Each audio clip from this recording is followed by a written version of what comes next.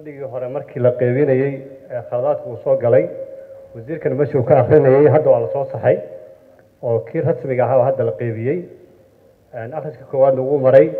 laakiinse wasiirku wuxuu sheegay in lala akrin doono sharcigii baarlamaanka sagaalaad uu ansixiyey ee ahaa mali laundry marka sharcigi lala akrin lahaa maadaama annaga guddiga maaliyaddan aan nahay sharcigi lala akrin lahaa in asagana la soo daawaco si ay u fahmaan waayo kanoo kale wuxuu noqonayaa xeer ku lifaaqan xeerka hore ku lifaaqan buu noqonayaa waana isla socdaan waana issaameynayaan marka markii hore aan ka aan bilaabeynana doodiisu waxay ahayd in sharcigaas iyo sharcigan ay ay ay ay iswaafaqayaan in la isla akriyana ay tahay hore loo ansixiyey marka xeerkaas xeerka lagu lifaaqi lahaa in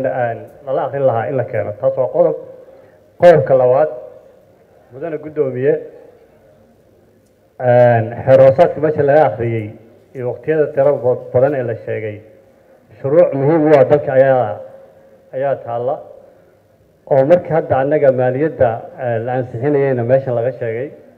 oo shuruuc muhiimna u ah deen cafiska sharcigana marka hore wuxuu ka bilowdaa golaha shacabka.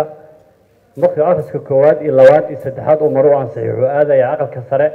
iyagana sidaas oo kale wuu soo laabanayaa kadibna aqalka ku soo laabay kadibna madaxweynuhu aadi kadibna waa la saxiixi faafinta rasmiga lagu soo saaraya waktigana wuu socdaa processkan dheer ee aan kala caddeyn time aan lahayn maalmaha aan lahayn saacadaha aan lahayn shuruucdaas waxaan ka cabsanaynaa muhiimka u ah waddanka iyo maalgeshigiisa iyo deen cafiskiisa iyo amnigiisaba in waktigu iska dhaco iyada waxba la ansixin golaha shacabka ay ka gudbinba. Marka in time table inta loo sameeyo oo la jadwaleeyo oo la xiliyeeyo oo prioritiskiisa u kala muhiimsan yihiin loo soo kala horumariyo oo markii loo dhiibo guddiga intuu haysanayo wasaaradda akhriska koowaad iyo labaad iyo saddexaadba waktiga la cayimo. Waa muhiim. Haddii kale kan fadhiga uu naga xirmayaa iyadoo hal sharci una ansixin golaha shacabka. Arrintaas waxay u baahan tahay mudane guddoomiye iyo guddiga xeroosaadka oo dib uegis lagu sameeyo. Waa mahadsantihiin